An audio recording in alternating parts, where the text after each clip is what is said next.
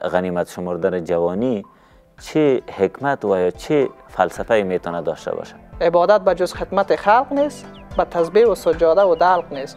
تنها خدمت نیست که عبادت نیست که انسان تنها نماز بخونه. پیامی داشته باشیم برای جوانا و مردم خود. یک تعداد اشخاص افراد در بسیار چیزای لح و لعب وقت خود را سپری می‌کنه اگر لدو است و امثال چیزای و تمدن اسلام.